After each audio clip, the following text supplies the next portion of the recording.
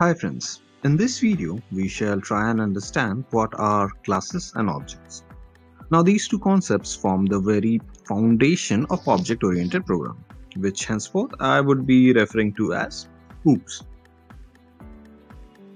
Alright, before we begin, I want you to do a small activity.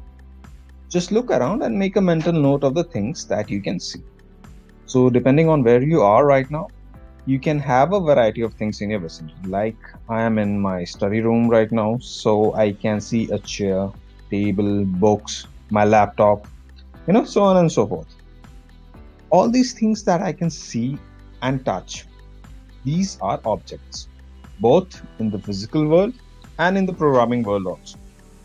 The reason being, the very approach of OOPs is modeled after the real world. So, again, summarizing, all the things that I can see and touch are objects. Let's take another example, and this time let's make it more specific. Say my uh, laptop. It is from HP, it has Windows OS, it weighs around 2 kilos, it has an ultra HD screen, you know, so on and so forth, the entire deal. So, this would be a very apt example for an object. Okay, so everything that has a physical presence is an object. Then what is a class?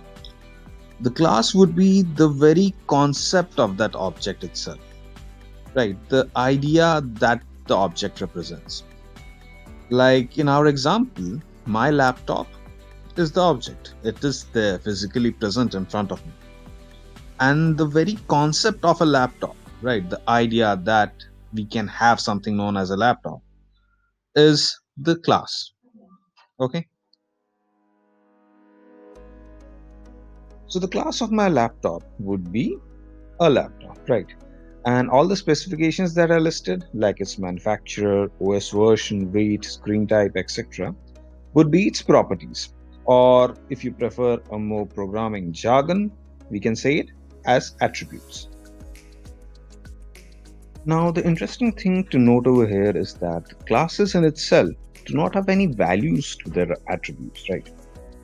And it is when we assign these values to the attributes that we come up with an object.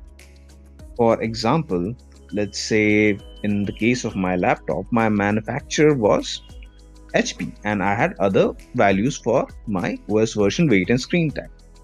And if I just change any one of these attributes, I would end up with a brand new laptop. Like if I just change my manufacturer from HP to Lenovo, I will have a new laptop altogether. So changing the, at- the value of attributes of a class gives you different objects. Hence, you can create multiple objects from a single class. And this is also the reason why uh, classes are often referred to as blueprint of an object. Okay. So yeah, that was all for this particular video. Hope I was able to clarify the concepts. Thanks for watching and hope you have a great